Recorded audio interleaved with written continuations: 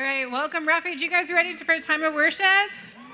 Woo! It's going to be all worship music tonight. Why don't you guys go ahead and stand to your feet if you're done with your dinner? If not, feel free to um, keep seating. But we're so excited that you are here. If you're joining us live, if you're on your way, um, watching us online, or if you're at home watching online, we just pray that tonight would be a blessing to you. Let's go ahead and pray and welcome the Lord in this time of worship. God, we just thank you so much for um, who you are and the work that you have done all summer long here at Resonance. And we pray that um, our worship tonight would be a blessing to you. And as the kids are being dismissed and behind the bouncy house and going off to their time, and the youth heading back to the back parking lot, and all the things going on this evening, that you would be present amongst it. We thank you for this, and we just give you honor and praise.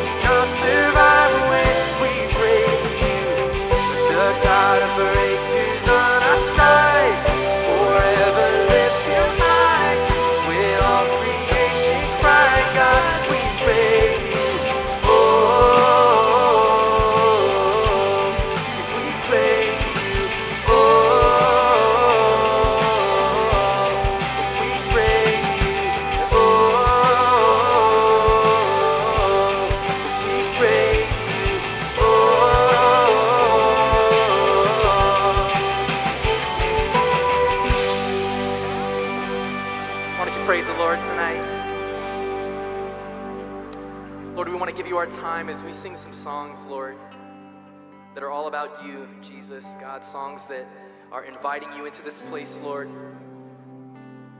We just want to pause, Lord, this evening and acknowledge you as our Lord. And God, this is a public declaration. We're outside, God, because we love our community. And we know the love that you have for us and for them.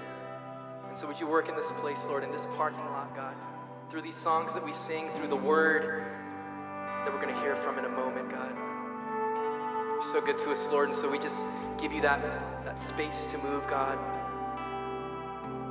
We ask that you would do that in a way that only you can, Jesus. So we're excited to see, God, what it is that you have in store for us tonight. We worship you, Lord. Let's sing this together. There's nothing worth more. And there's nothing worth more that will ever come close. Nothing can compare. You're our living hope.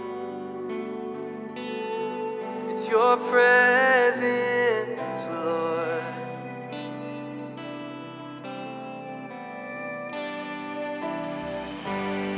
Yes, I've tasted and seen of the sweetest of loves, of where my heart becomes free, oh, when my shame is undone, Lord. In your presence, Lord. Let's sing together, sing Holy Spirit.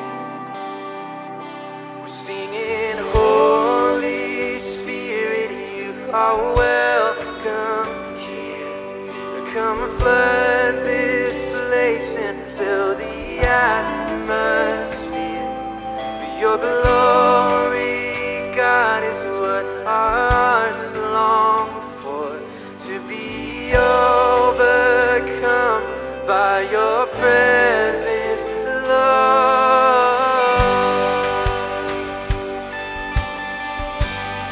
It's your presence,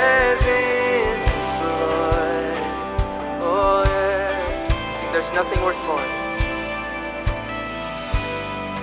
There's nothing worth more that will ever come close. No Nothing can compare. Cause you're our living oh, hope. Are, Oh, it's your presence,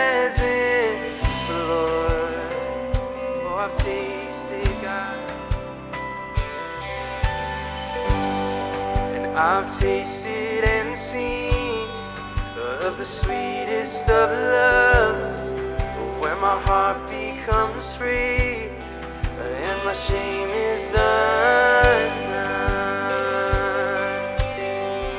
Oh, in your presence,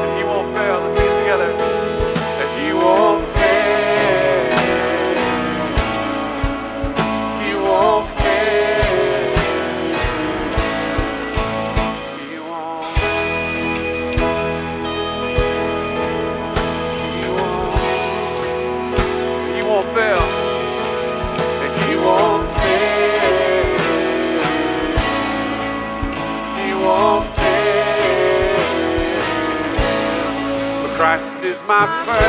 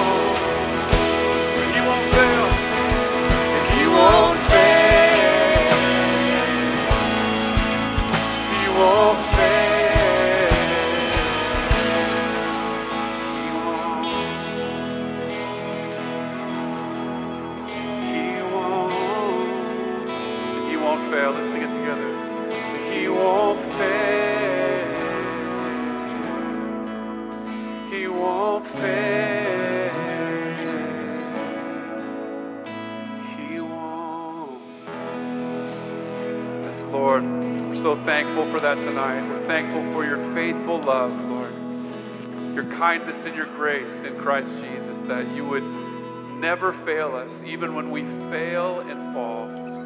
Lord, you remain faithful still. So, Lord, tonight we just lift our voice and praise and honor the King of Kings and the Lord of Lords who loves us deeply and unconditionally. Lord, anyone here tonight that would doubt your love for them, Lord, would you open their eyes to see how deep your love, how wide your love, how great your love is. Lord, thank you for your presence tonight. Thank you for the opportunity we have to be here together because of you. May you be honored in our gathering, we pray in Jesus' name. Amen. Amen. Let's give these guys a hand. Awesome. Awesome time of worship. Um, the good news is they're not done. You guys can have a seat for a second, though.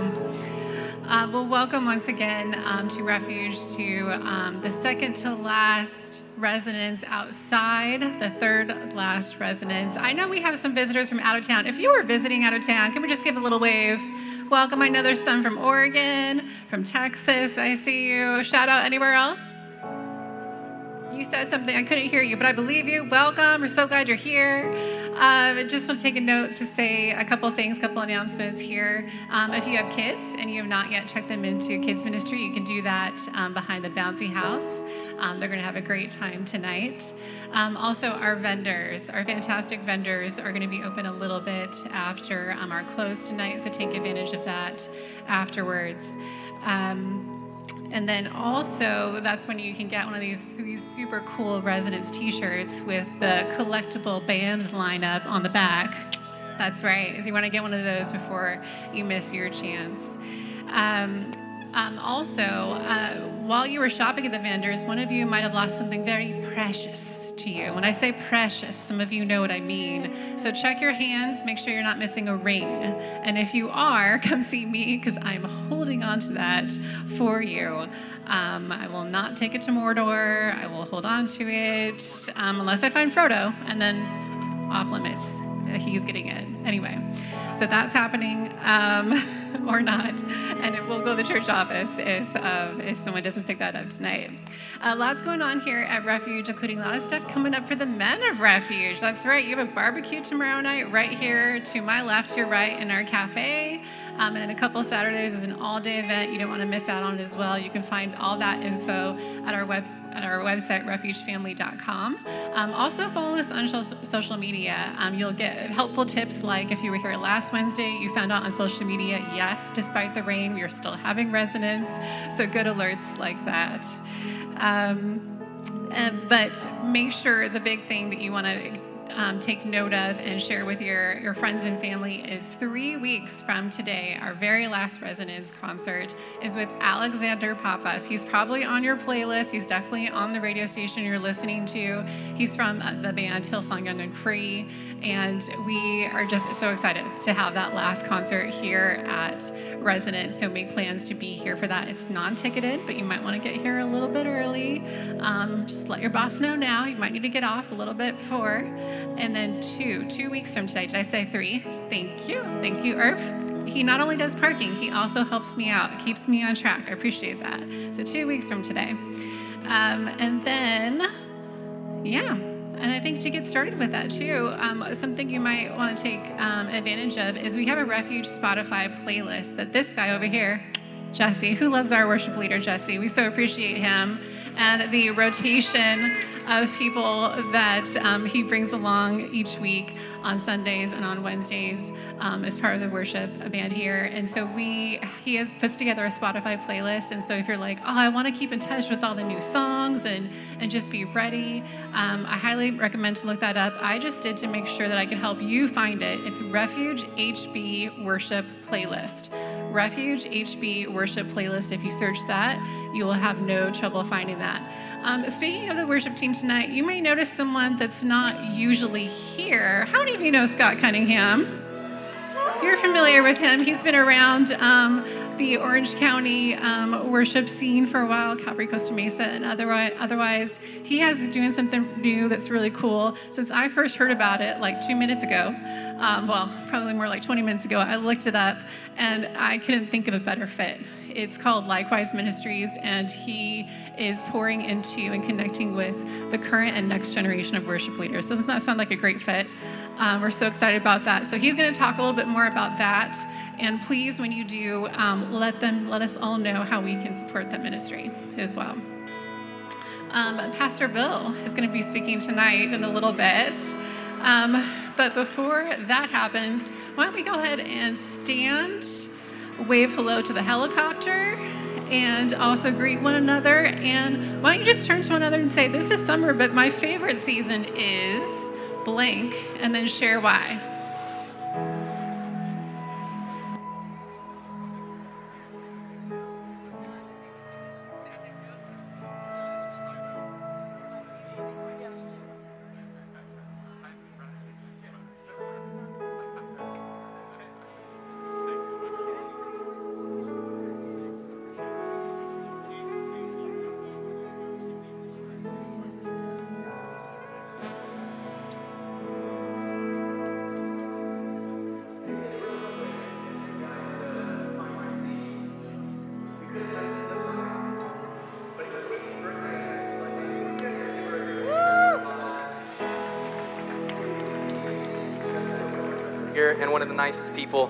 That you'll meet in the refuge hallways.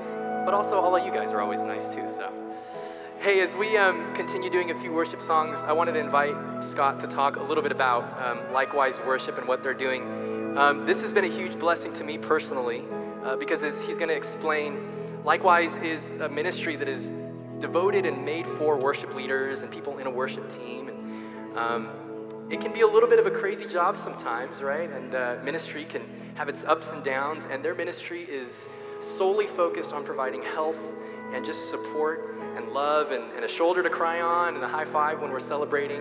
And so, Scott, if you wouldn't mind, maybe just talking a little bit about Likewise and kind of how the Lord brought you there, what you guys are doing. Yeah, thanks, Jesse. Awesome. How are you guys doing tonight? Great. Awesome. So it's a blessing to be with you, and I just absolutely love Pastor Bill. He's been such a, a big influence on my life over the years, and uh, I ran a school of worship for about 20 years, and Bill would teach it all the time, and it was just such a sweet class every time Bill would teach. But um, in this next season of life for me, I, I felt really, really called to uh, pour into the next generation of young worship leaders, and a big part of that vision came from Isaiah 58, where shall lay the foundation of the next generation. And the Lord just really applied that to my life. Um, we were just singing that song, Firm Foundation, and, and that line there that says, He's going to be faithful through generations. And that always hits me in a special way. Like one generation shall praise your works to another and shall declare your mighty acts. And God is always on the move, like working from generation to generation.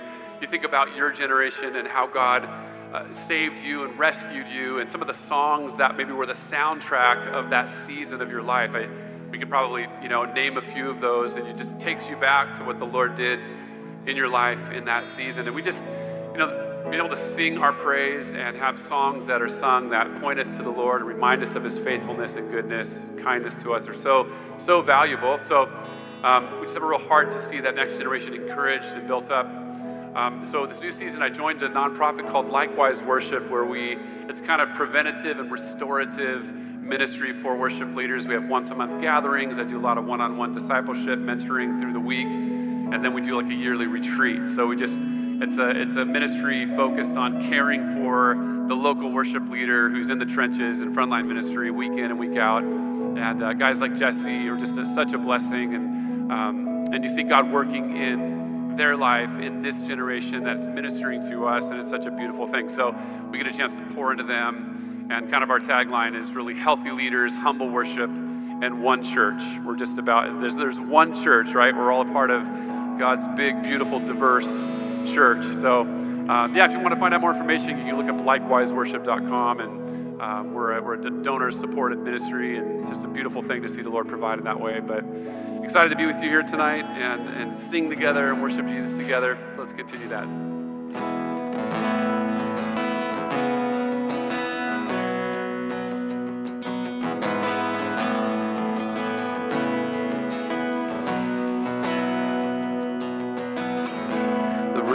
Darkness now is ended in the kingdom of light, in the kingdom of light. Forever under your dominion, you're the king of my life. You're the king of my life. You reign above it all. You reign above it all. You reign above it all over the universe and over every heart. There is no higher name. Jesus, you reign above it all.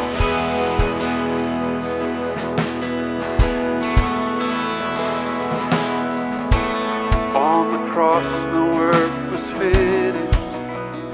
God, you poured out your life just to give us new life. Now from the lips of the forgiven, hear an anthem arise. Jesus, you're alive. Oh,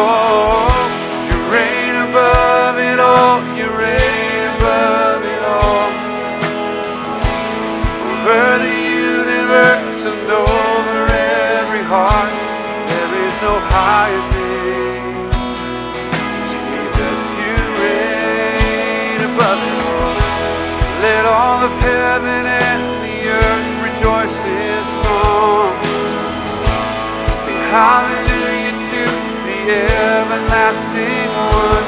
There is no higher name. Jesus, you reign above it all.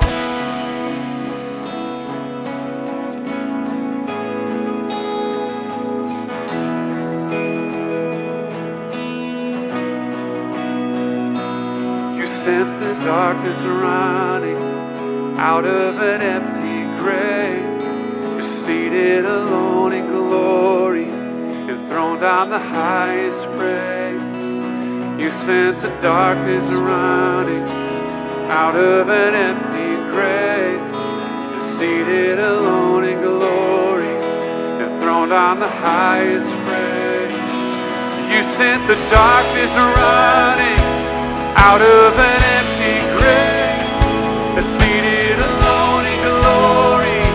enthroned on the highest praise.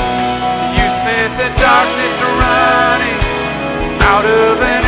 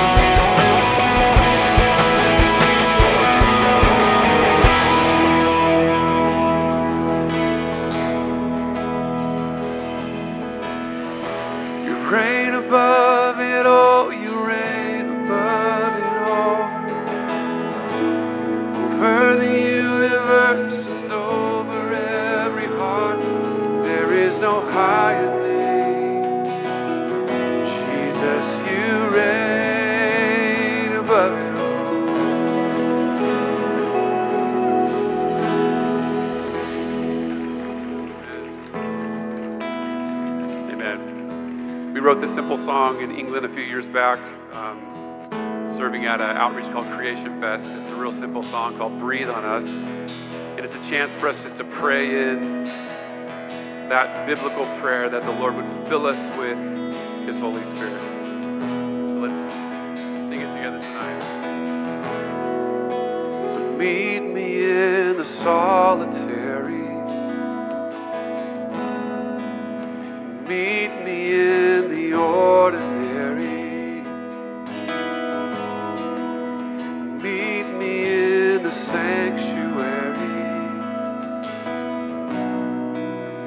make my heart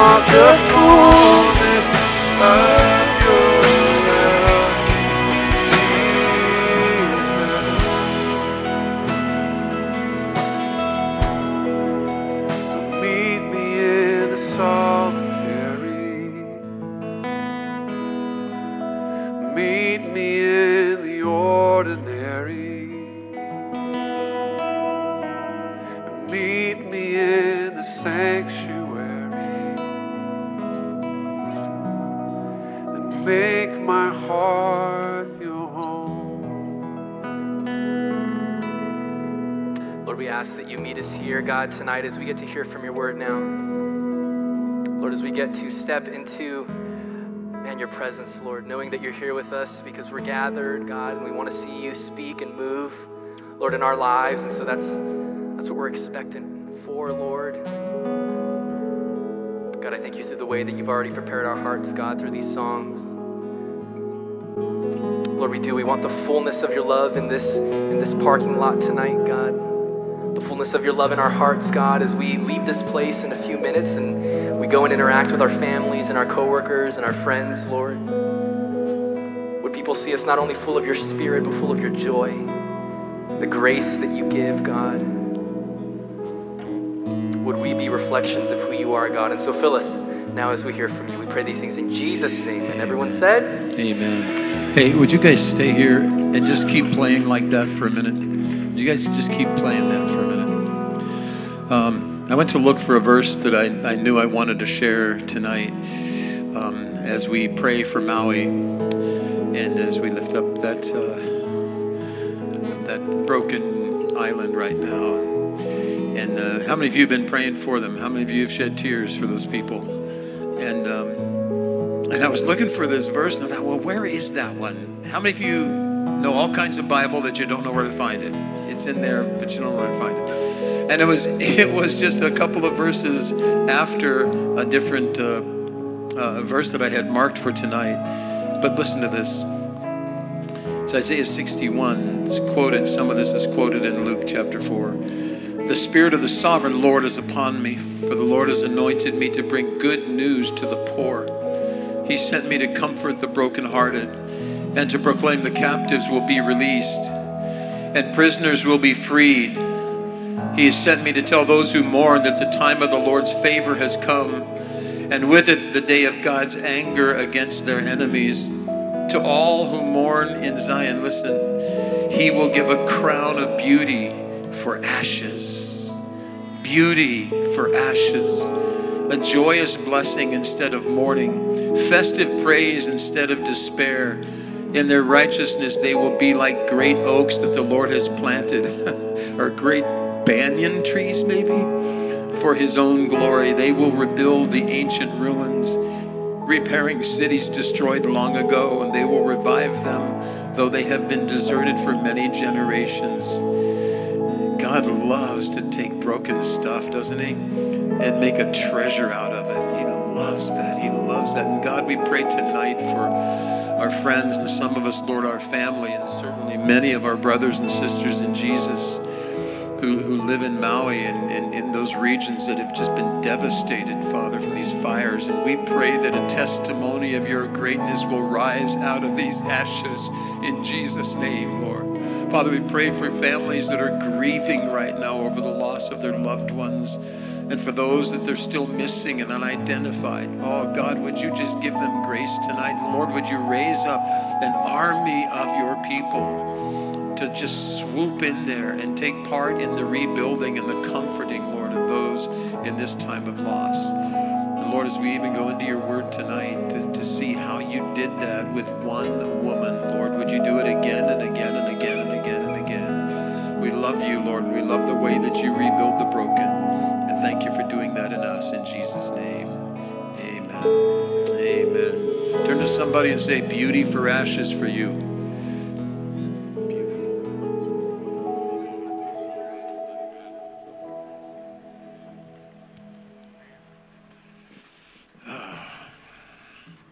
I need help. You already knew that, didn't you? I, I do. Here, here, this is yours. Yeah, yeah. Um, but I, I, I need some help.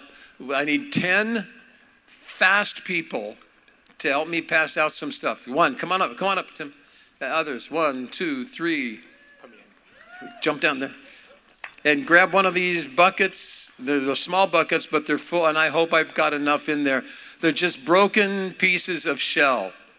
And so just run around through the, the congregation and pass out as many as you have. And if you didn't get one, I'll make sure that you, you get one.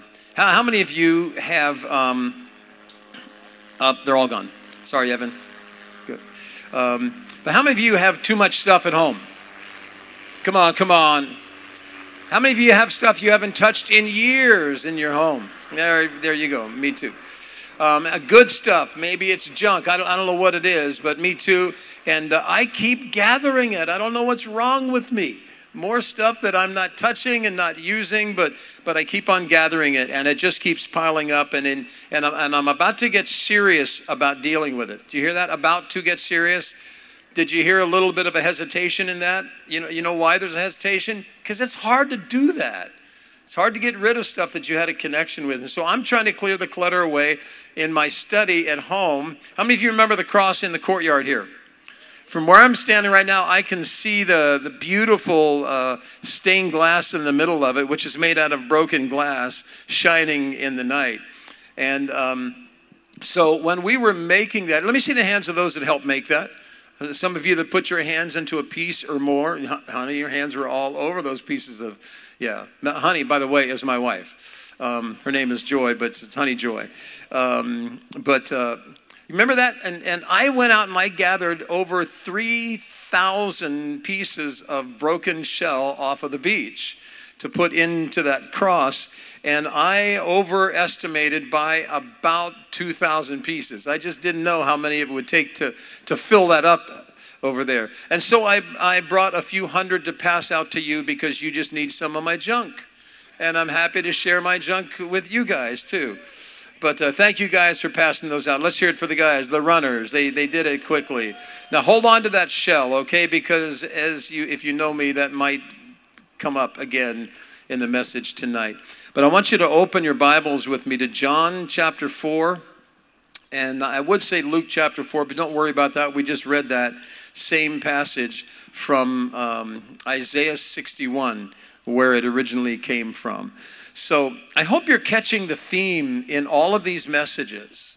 And, the theme really goes back to Isaiah 61. It goes back to Luke chapter 4 when Jesus stood up in that, that uh, synagogue in, uh, in Nazareth, that, the town where he'd been raised. And, and he stood up as a respected adult man now. And they handed him the, the scroll of Isaiah when he showed up for Shabbat services, most likely is when he was there. They handed it to him and trusted him to read a passage. And he might have started with the passage that the Torah was open to, or that the, the prophets were open to, the scroll of Isaiah. He might have started with that, but he moved on to another passage as well, so he could get another item in what he said to the people. But he said, The Spirit of the Lord is upon me. And let me condense this. He said, Because he's anointed me to heal and forgive and restore broken people, busted up people. He said, This is why I've come. The only reason that I'm here is to reach out and, and help broken people and to bring, oh, I wish he would have quoted this in that synagogue that day, to bring beauty for ashes. Because that metaphor, all of us understand that metaphor, don't we? How many of you would look back at a time in your life where you just saw all your hopes go up in smoke? That beauty that God has maybe brought already out of the ashes of that moment.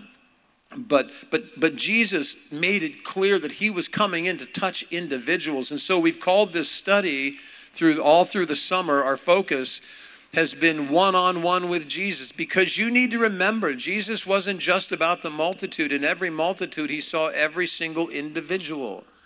And he knew what was broken. He knew what was burnt in them. He knew what had been shredded, what hopes had been shredded. And he knows that about you. I would imagine most of you here are lovers of Jesus. If you're a lover of Jesus, give out a shout for him. I kind of thought there was few of you here tonight. But, but we, we, we love the multitudes. And you know, the multitudes to us, they, they, especially for preachers, you get a multitude, you feel like, oh, I'm validated. Oh, I mean something. We drew a whole bunch of people. It's exciting. It feels like a party. A multitude feels like a party. Uh, you can get a lot of stuff done if you've got a multitude of people. And I am praying that some of you will join together with teams that are heading over to Maui. Just talked to Peter Wright um, this afternoon and he was talking to someone from Calvary Chapel La Habra, and they already have a team over there assessing um, what they're going to be helping with, and we're hopefully going to be joining up with them with their direct connections in Maui. So, how many of you would be interested in joining a, a recovery team and maybe a rebuilding team? Uh, uh, uh, okay, I see several hands. That's, that's perfect. And so, we'll tell you more about that as, as that time comes up. But, but Jesus didn't just come for the multitude, and we know that. There's nothing new to you. But Jesus came for the one, the one just like you. Jesus seems more, or at least just as focused on the one as he was the huge multitude of people. And, and that's why I, I, I love taking the summer to focus on that. You are the one that is the focus of his love. And so is the person sitting next to you and behind you and, and the guy with the microphone shouting at you tonight. We're the focus of his love. One on one, he loves us personally and perfectly. But with the multitude, sure, he gave them his time and he poured out truth to them as, as they gathered. And he did miracles. He did the miracles what? One on one, one by one. But he gave them his attention, he gave them his time, he gave them his power, he reached out to them, and he gave them his love. I don't think there was any question if you met Jesus as he walked away, you would get the impression, I think he likes me. Or maybe it'd be more accurate to say, I think he loves me. Maybe if you, if you were a Pharisee that it was rebuking, maybe in the privacy of your own home at night, maybe you got that message too. He loved me enough to correct me. He loves us. These stories fill up the New Testament. And, and, I, and I hope and I pray that you know that Jesus cares as much for each one of you as he did about all those that we've been studying all this summer long. He cares about you and your pain. He cares about your loneliness. He cares about your failures. You got any failures? He cares about your addictions and your fears, and He's ready to break through on those things, even tonight. There's somebody here tonight that needs to let go of something that has dominated your life and you don't even know how to let go of it anymore. You keep falling back to it again and again, and He wants to set you free from that tonight. He comes for the one that's here tonight. Our, our true story tonight is one broken hearted woman who has had five long stories that she could tell us of her brokenness and her failure. So if you're open to John chapter 4, I want to read it to you. This, this is early in Jesus' ministry. The Gospel of John, it's in the early chapters, obviously, but Jesus, he's definitely rolling now. There, there's no question about it. He is rolling. In chapter 1 uh, of John, you've got the launch. Here he comes. God in flesh is here among us. He really is God in flesh, even if the people in the park with the magazines tell you otherwise. He, he really was God in the flesh. You met him, you'd, you'd know exactly what the Father was like. We saw in chapter 1 John the Baptist. We saw him beginning to, to gather his followers, and then Jesus is gathering his followers. In chapter 2, Jesus does this crazy miracle, a, a totally unnecessary miracle. I'm sorry you're out of wine, it's your wedding. Maybe you need a little more water than you need wine but he multiplied, he, he, he changes water into wine. He didn't need to do that. And, and scholars argue over why would he do that? But he did it. And he made a whole bunch of people at that wedding very, very happy. You see him clearing the temple of hypocrisy and getting angry. How many of you are at least a little bit comforted that sometimes in the Bible you see an angry Jesus? Let me say this He's angry for the right reasons. He might not get angry over the things that you and I get angry about. But he gets angry when the Father is misrepresented. In chapter 3, oh man, Nicodemus. And I think, Jeff, you're going to be doing Nicodemus, right? In, inside with the concert in a couple of weeks. But in, also in chapter 3, John is there rejoicing over Jesus when he hears that his popularity is through the roof. It, it, it's exploding. It is the beginning of the Jesus what? Movement. And you would have loved that Jesus movement because Jesus was coming for the common people. Let me, let me restate that for the common person. Because the people are made out of individual persons. He loved the common person, the broken person, the outcast person, and even the wicked person. And all of them in that story, they're finding hope. Now, at this point in, in John chapter 4, follow along with me. Let me read a little bit. I promised you I'd do that, so I better get started. But it says this Jesus knew that the Pharisees, and I'm reading from the New Living Translation, Jesus knew that the Pharisees had heard that he, Jesus, was baptizing and making more disciples than John. He knew that his popularity now was eclipsing John's, and John's popularity was a big problem to the Pharisees because he was so un Pharisee like. He was so unorthodox. And he seems just a little bit out there at times, doesn't he? And of the stuff that he eats, come on, bugs? Come on, John, bugs? Why? They're not bad if you dip them in honey, I hear. But it says that, that they knew, the Pharisees knew that Jesus was making more disciples than John did, though Jesus himself didn't baptize, his disciples did that. So he, Jesus, left Judea and returned to Galilee. And he, verse 4, he had to go through Samaria. Let me, let me pause there. No Jew had to go through Samaria. Samaria was like polluted ground to them, culturally and spiritually. There's long standing conflict between the Jews and the Samaritans. And that's why Jesus will make a hero out of Samaritans a couple of times in his stories. The, the, the story of the great Samaritan. I know the heading in your Bible says it was a good Samaritan. Doesn't say that in the text. Scratch out good, put down great or amazing Samaritan. So Jesus didn't have to go through Samaria. No Jew had to, but he had a good reason to go through Samaria. One, one translation says he needed to. The Berean translation, which I've never read, I just saw it, it quoted online today. The Berean translation says it was necessary. Why? Everybody say, because of her. Because of her. Let's meet her. So he left. And he went through Galilee. Then he came through Samaria on the way, and eventually he came to the Samaritan village of Sychar near the field that Jacob gave to his son Joseph. And Jacob's well was there, and, and, and Jesus, tired from the long walk, sat wearily beside the well about noontime. And he's not play acting, he's tired. If you hike with me in Israel, this next, uh, what is it, Shaddy? April or March? I, I is it April?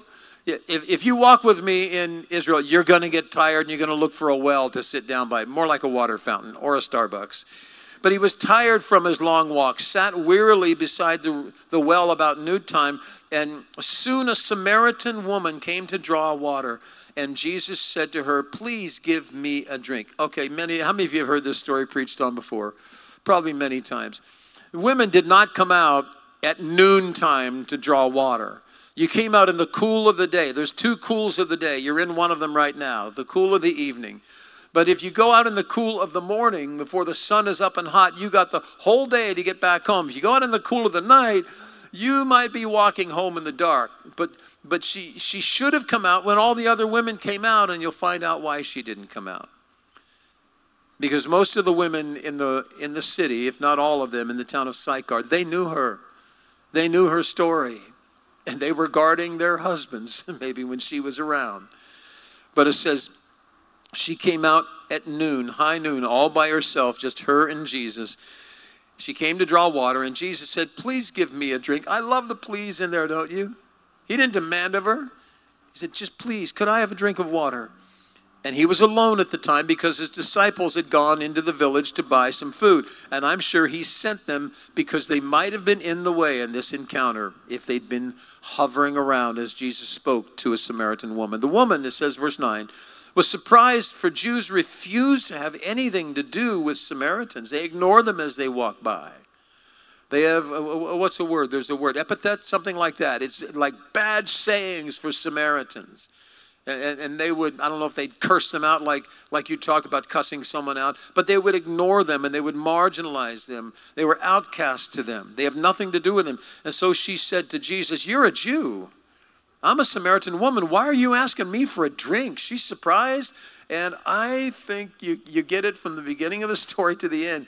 This lady is what we called in Australia, might, she's just a little bit cheeky, if you know what I mean.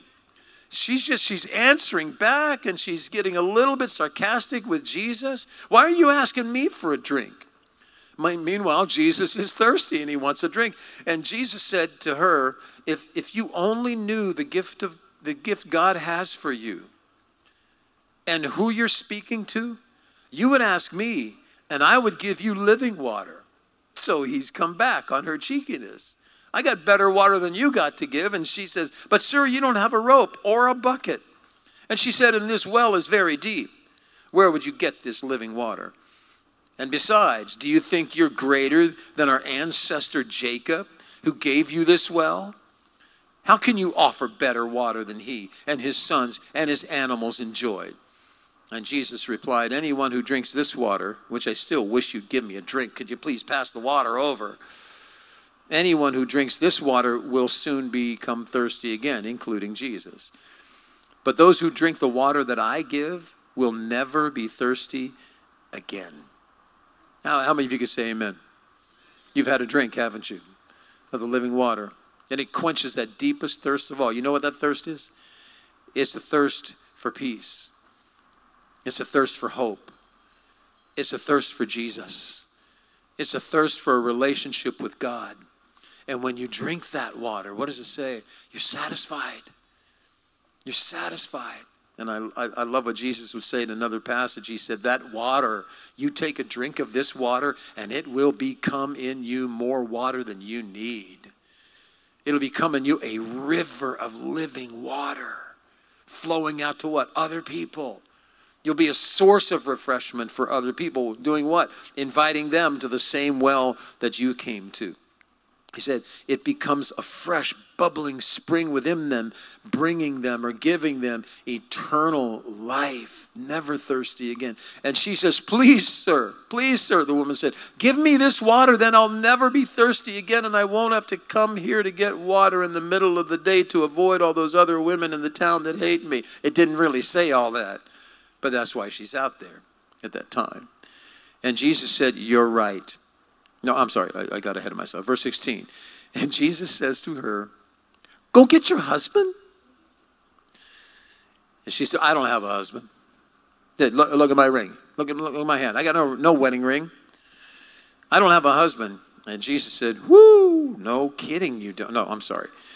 He said, You're right, you don't have a husband, for you've had five husbands. And you aren't even married to the man you're living with now. You certainly spoke the truth. Everybody go, oh boy. Did he read her story or what? Why did Jesus need to go through Samaria? For this lady. For this broken-hearted lady. With five stories that would be too long for her to tell. How she met them, and how the marriage turned out, and how it got broken, and why he left or she left and why he divorced her. He said, You've spoken the truth. You've had all those husbands, and the one you're with now, you're just, as we used to say, shacking up with him. And she said to him, She did what we do. Sometimes when we get caught, we change the subject, don't we? Listen to what she said Sir, you must be a prophet. So enough about me. So tell me, why is it that you Jews insist that Jerusalem is the only place to worship while we Samaritans claim that it is here on Mount Gerizim where our ancestors worship? What does that have to do with the conversation about husbands? Nothing. That's the point. Let's change the subject. This is uncomfortable. How could you know that? I don't care how you knew that. I don't want to talk about that. He touched the most painful part of her life, and he's not done touching it. He's going to change her life. You know the story. But she says, let's talk about religion. Okay, you guys say Jerusalem is the only place really to worship God appropriately. That's why you guys come walking through our land several times a year, going to Jerusalem or coming home from the feast because you're going there to worship. And our people say that up here is the place to worship. Well, which one is it? And Jesus says, believe me, I love this. Dear woman, I love the way the New Living Translation puts it. Dear woman, using the same phrase that he'll use when he speaks to his mother. Dear woman, the time is coming when it will no longer matter where you worship the Father, on this mountain or in Jerusalem. You Samaritans, this is this is kind of getting close to the heart here. You Samaritans know very little about the one you worship. One translation says, you, you Samaritans don't even know what you worship. You don't even know what you're doing in worship. You just didn't want to worship the way we worship, so you tweaked it a little bit. He said, and that's exactly what they did. You Samaritans know very little about the one you worship, while we Jews know all about him, for salvation comes through the Jews. And there he is standing in front of her, the one that brings salvation. Has walked all the way to her village, and he's standing at her well. This thirsty, empty hearted woman who's looking for love. We know all about him. Salvation comes through him. But the time is coming, indeed, it is, it is here now, when true worshipers will worship the Father in spirit and in truth. And the Father is looking for those who will worship him in that way. For God is spirit, and those who worship him must worship him in spirit and in truth. Wow. Got a whole lot more than a bucket full of water that day, didn't she? She got a download of truth on worship. Worship has nothing to do with where you sit on a Sunday morning. I, and I've said this many times, I'll say it very briefly. The definition of worship in the Bible has nothing whatsoever to do with music. That's what the Bible calls praise. And that's a high and holy exercise that we get to do to lift up our voices, lift up our hands, and lift up our heart to God. And He loves it when we praise Him with that kind of a heart. Worship is found more foundational than what we do with our lips and with our fingers while we play our guitars and our keyboards and, and whatever we play. It has to do, and I'll make this very, very, very, very easy. The first mention of worship in the Bible is back in Genesis chapter 22 when, when Abraham, who's on his way to sacrifice his son, he comes to the bottom of the hill and he says to the two servants, You guys stay here. This is for my son and I only my boy and I will go into the mountain and we will worship. And then we will return. They were not going up there to sing songs. Abraham didn't turn to Isaac and say, Hey, buddy, I, I, left my guitar on the donkey. Would you go grab my guitar and don't forget the song sheets? We're going to go and worship. You know what that was that they were doing? Painful obedience to God. Just as painful for father as it was for son the thought of doing that. And by the way, God had said, as I read it, God had said, offer him to me as a burnt offering. That can be taken one of two ways. He wasn't saying, go kill him. That's how he took it. And he was ready to obey to that level.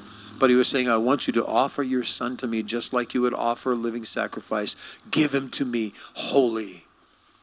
Maybe God Maybe, maybe the gift of God and his son had become, had taken the place of, of the true worship of God in his heart, but whatever it was. But Jesus says, you know, you guys are so confused on worship, but you must worship God in spirit and the truth. It's not this temple or that synagogue, it's where your heart is with God, surrendered to him. And the woman said, Oh, I know that Messiah is coming the one who is called Christ. And when he comes, he'll explain all of this to us. And what, in other words, she's saying, what? He's going to straighten you guys out and he'll straighten us guys out too. Because in, in, in the Jewish community, in their worship, it had gotten a little bit tweaked as well. He says, when Messiah comes, he's going to straighten everything out. And then Jesus said to her, Can you imagine this? I am the Messiah. I who speak to you am he. Wow. That, that Samaritan woman got the gift of all gifts that day. She met the Messiah, and just then his disciples came back, and they were shocked to find him talking to a woman. That's why he'd sent them away. They, ooh, what did I knock down? Oh, I'm so sorry, Scott. I think I broke it. No, I didn't. They were shocked that he's talking to a woman. And- reading on. But none of them had the nerve to ask, What do you want with her? Or why are you talking to her? And the woman left her water jar beside the well and ran back to the village, telling everyone, Come and see a man. This is incredible. Come and see a man who told me I've had five husbands and the one I'm living with now. It doesn't put it, she doesn't put it that way. Come and see a man who told me everything I have ever done. Really? That's all you've done? You know what she's saying? All her life, what had she been looking for? Anybody? Love.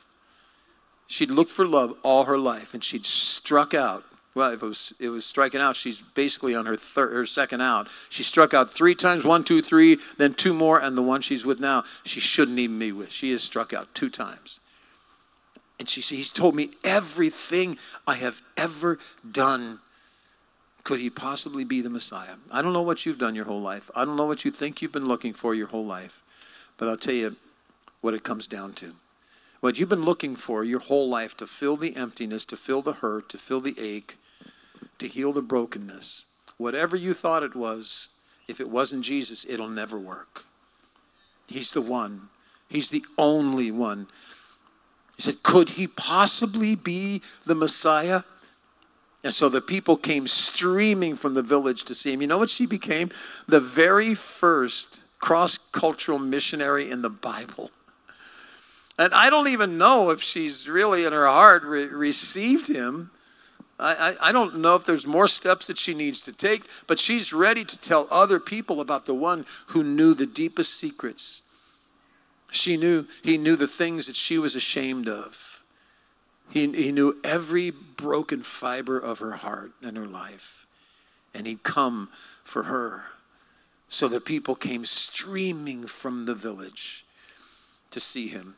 And meanwhile, the disciples were urging Jesus, Rabbi, eat something, eat something. They brought the food. And I love what Jesus said here. He said, Oh, I have the kind of food you know nothing about. Yeah, I have the kind of food you know nothing about. And then they said, Did someone bring him food while we were gone? And then Jesus explained, My nourishment comes from doing the will of God who sent me and from finishing his work. Oh, man. Well, I could go on in the story, but I kind of need to stop right there. But there, there's a point there, too, that there is something so satisfying about doing the thing that God called you to do, isn't there? Isn't there something that just it's like it it reaches down to that place in in your soul? Even even you you come to the place where and I've been at this place not very often. I mean, I can always eat. Anybody else with me? I can always find room for for a, another veggie burger because I can't eat the burgers anymore, and I can't drink coffee anymore. I can't drink decaf anymore. All kinds of stuff. But oh, I can always find something. I can find room for something. But there is something so satisfying at the end of the day when you knew that God used you to bring encouragement to somebody, hope or love or healing to somebody. It just is enough, isn't it? Isn't it? It's enough. And so, Jesus, this day, when he had to go through this place, and he had to stop because of that one woman that was there, it was all for the glory of God. And he comes to the end of that day and he is satisfied. And he says to his disciple, I don't need the falafel. Thanks so much. My falafel that you are going to have to eat my falafel for me, but you're going to have to do it because I'm just, I'm just not hungry. He was full.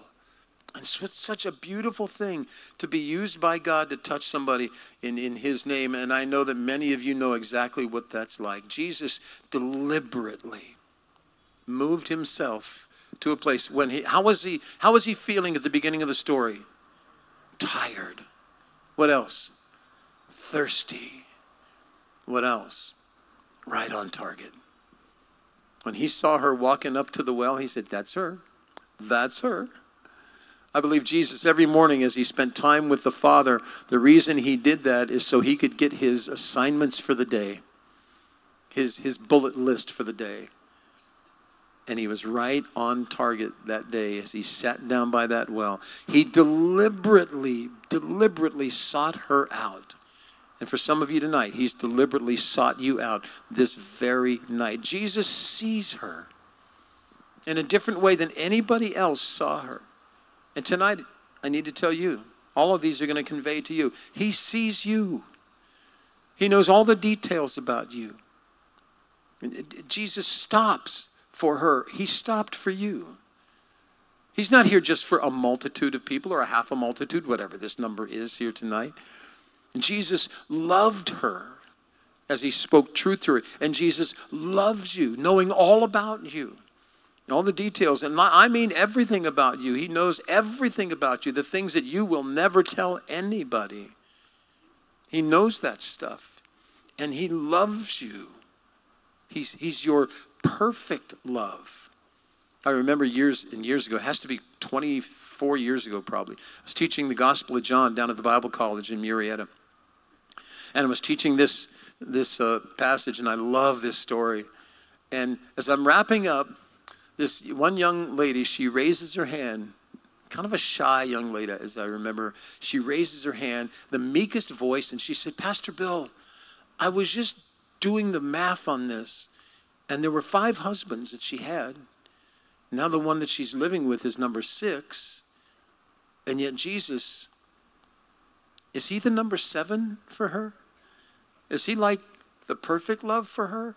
Because doesn't isn't seven the number of perfection in the Bible?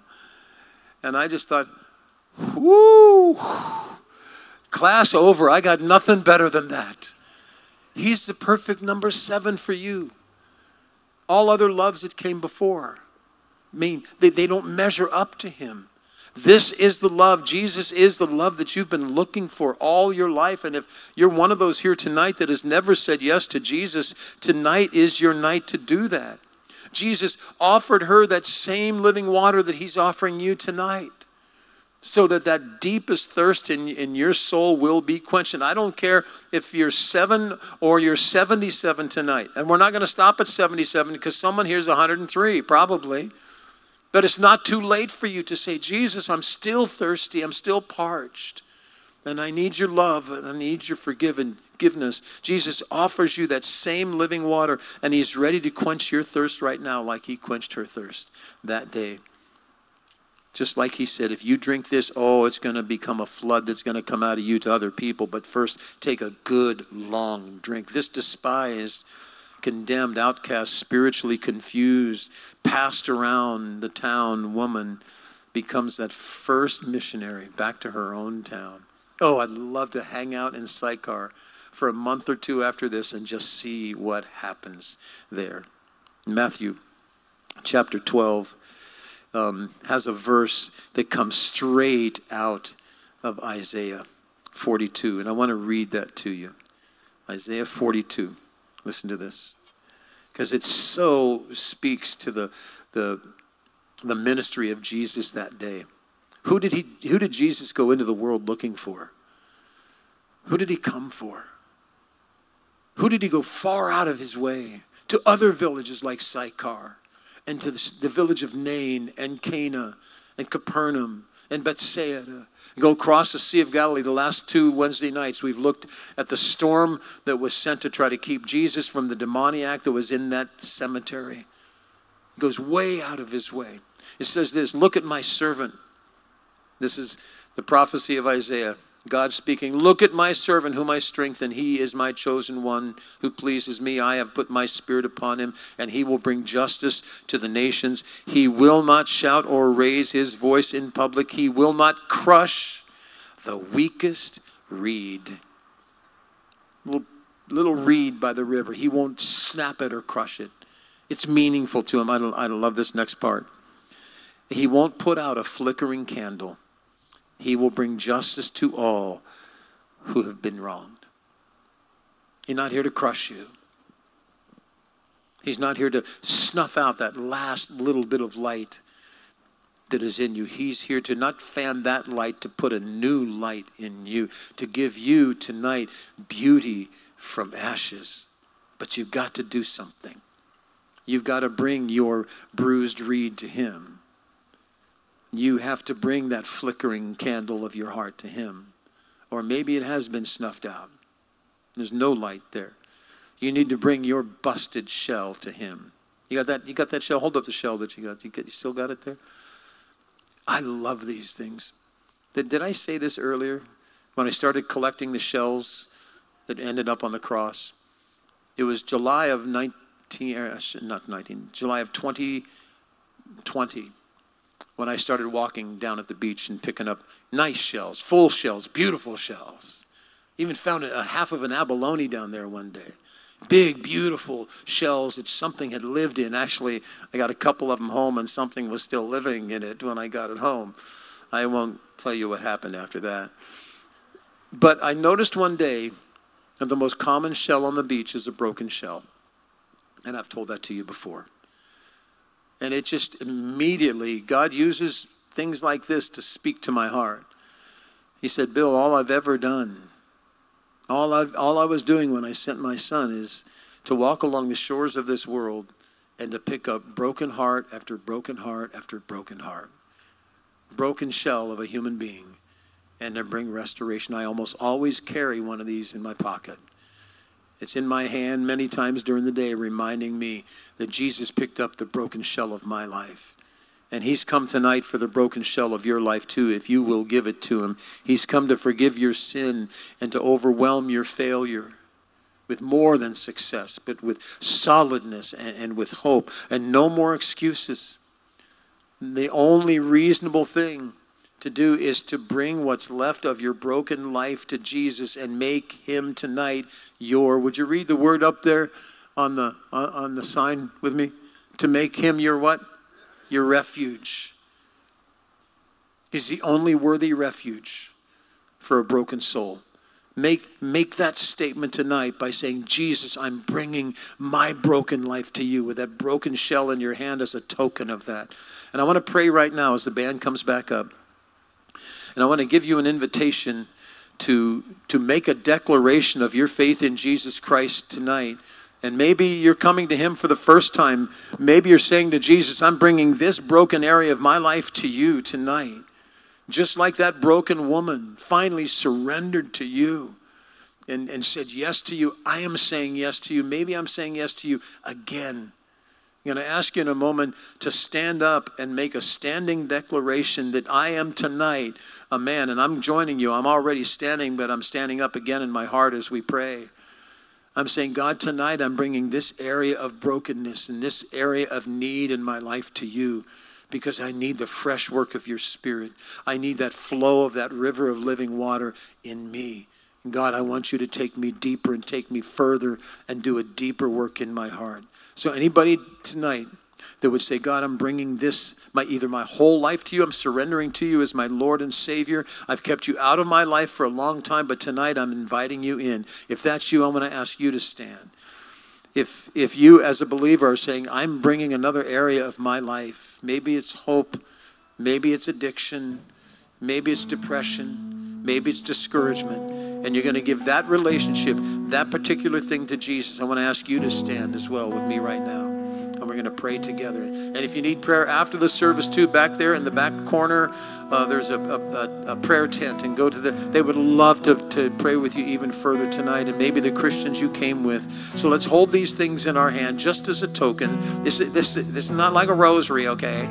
This is just a token that represents our brokenness. And let's say to Him, Father God, let's pray out loud with me. Father God, I thank you for Jesus Christ who came to this world to save broken people like me, to forgive guilty people like me, to restore hope to people like me. And I'm asking you for that tonight, Lord. I believe He died on that cross for my sins and rose again from the dead. As I stand before you tonight, Lord, this sinner needs a Savior. And so I thank you that you are that Savior.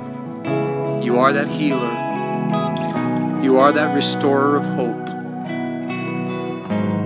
So fill my life again with your Spirit and light the fire deep in my soul. The rest of my life is yours.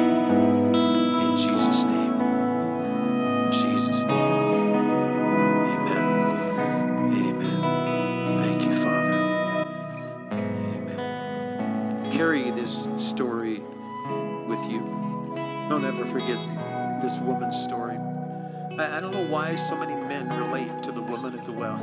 I, I guess I actually do. Because we're all that way, aren't we? We've tried so many times this thing or that thing, and it left us just as empty as it did last time. So we're going to sing. Uh, I, don't, I don't know how much more, but whatever time is left, I, can I just encourage you?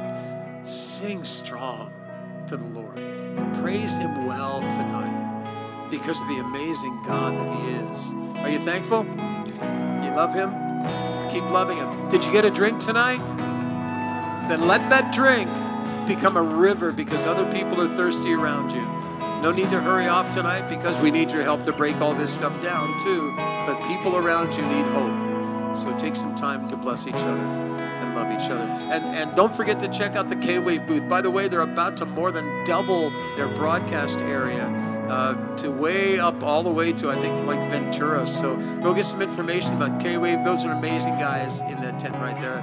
That's Mark and Zach. I remembered both names. And uh, so bless those guys and check out the other vendors too. Love one another. God bless you. If you want to stand with us, we would love that. Honor the Lord as we sing this last song. Sing this together. You give life. You give life, you are love, and you bring light to the darkness. You give hope, you restore every heart that is broken. Great are you, Lord. You give life give life. You are love, and you bring light to the darkness. You give hope, and you restore every heart that is broken.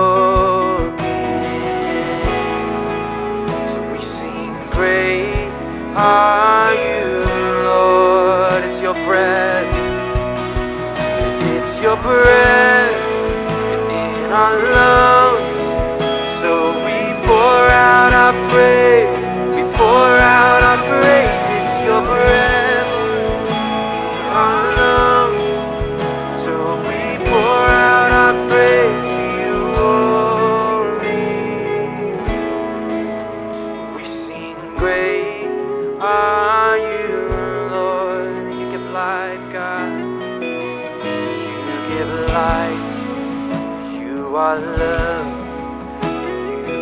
Bring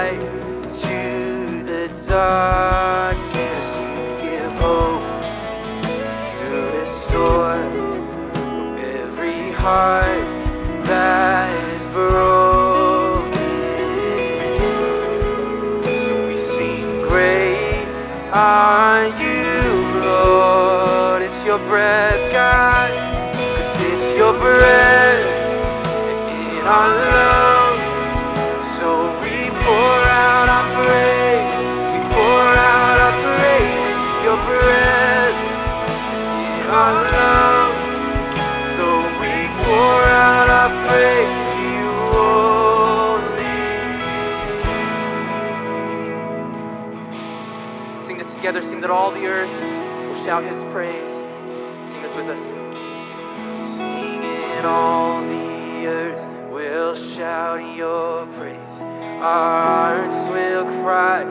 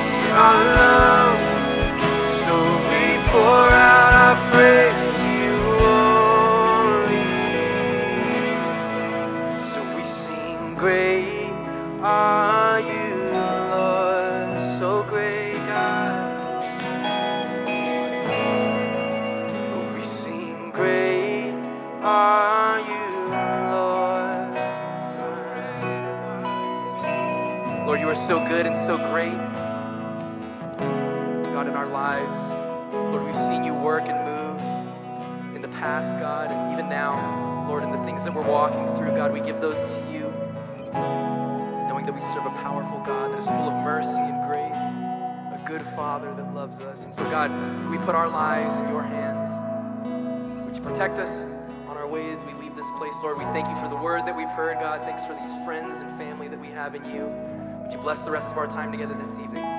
Pray these things in Jesus' name. And everyone said, Amen. Let's give it up one more time for these guys. Thank you so much for coming out tonight for this time of worship and the word. Just as a reminder, there is prayer in the back. If I can encourage you, if you're hesitating, please don't. We would absolutely love to pray with you. Um, if you have a spare minute and would like to help us break down um, what's going on out here, the easy ups and the black tables and chairs would be a great place to start. And lastly, your kids they're ready for you. so please go and make your way to pick up your kids. Y'all have a great night. Drive safe. We'll see you next time.